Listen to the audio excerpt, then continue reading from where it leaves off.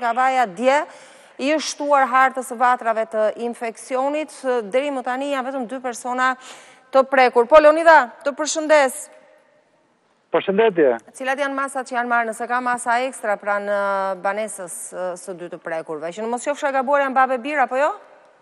Po, sigurisht, janë babë e bir.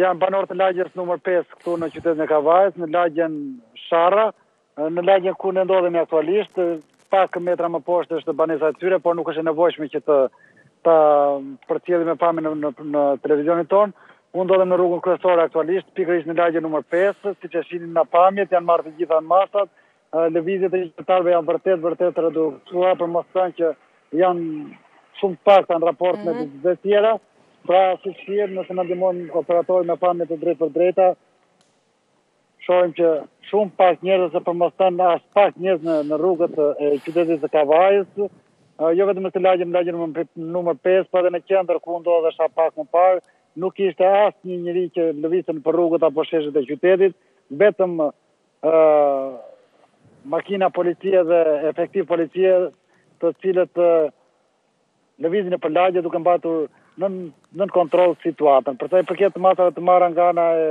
e bashkisë së Kavajës apo edhe spitalit të Kavajës, banorët e lagjes numër 5, banorët e lagjes Sharra, pra më bënë me dije se që në momentin që janë identifikuar dy personat të prekur me koronavirus, bashkia dhe spitali në bashkëpunim me njëri-tjetrin kanë marrë të gjitha masat duke disinfektuar të gjithë lagjen dhe rrugët e qytetit të, të Kavajës.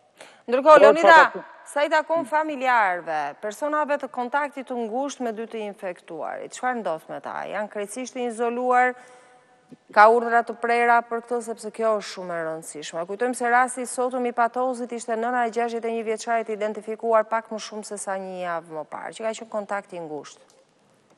Në fakt, personat të cilët kanë patur kontakte të, të ngushta dhe të vazhdueshme me dy personat e prekur tashmë me koronavirus, janë të izoluar nëpër banesat e tyre, madje edhe të afërmit, pasi siç dihet se Kavaja është një zonë që banesat janë afër afër, nuk bëhet fjalë për për pallatet, por edhe për banesat private, të cilat ndodhen shumë afër dhe njerëzit sapo dalin në shkallët e pallatit komunikojnë me njëri-tjetrin. Uh mhm. -huh. Edhe ata persona që kanë patur kontakte të tilla, pra janë vetizoluar duke respektuar në një farë mënyrë dhe atë urdhrin e vendosur nga qeveria. Por ë Deri në këto momente nuk janë bërë analiza të tjera le të themi që të të, të dimë me saktësi nëse ka të prekur apo jo, pasi siç e dimë, ky është një virus, një armik i fshehtë që edhe pse mund t'i bësh analizat sot ai mund mund të dalësh negativ, por je i mbartur me këtë virus. Prandaj duhen të paktën 2-3 Por ndërkohë, ndërkohë testet familjarëve të ngushtë të dy personave të prekur u janë bërë, të paktën familjes, flasim për anëtarët e familjes. Nuk kanë patur simptoma që të të merreshin parasysh që të të bëheshin taponet edhe këtyre, pasi kanë qenë në gjendje të mirë shëndetësore, nuk kanë shfaqur simptoma me të njëjtat me ato të koronavirusit. Mhm. Dhe për këtë arsye nuk janë bërë nuk janë bërë analiza të tjera. E qartë. Sipas burimeve, po, po sipas burimeve këtu në në Në këtë lagje pikërisht janë edhe të afërmit e tyre. Gjendja e tyre shëndetësore është shumë shumë e mirë e familjarëve kam fjalën, ndërkohë që dy persona tashmë babë e bir ndodhen të shtruar në spitalin infektiv në në kryeqytet. Ne gëzohemi që gjendja e tyre shëndetësore është e mirë dhe shpresojmë të jetë kështu, të jetë e mirë, por duhet të vazhdojnë të qëndrojnë të izoluar për arsye se sikurse e pamë qartazi rastin e Patozit, Pas gati dhjetë ditësh u shfaqën simptomat dhe u rëndua gjendja e nënës së gjashtëdhjetë e një vjeçarit. Pra është një virus që nuk i shfaq simptomat menjëherë, i shfaq edhe pas dy javësh. Kështu që gjithë duhet të qëndrojnë brenda. Është shumë e rëndësishme që të qëndrojnë të izoluar dhe as në kontakt madje me njëri tjetrin brenda brenda familjes, ata që janë të kontaktit të ngushtë me dy personat e prekur.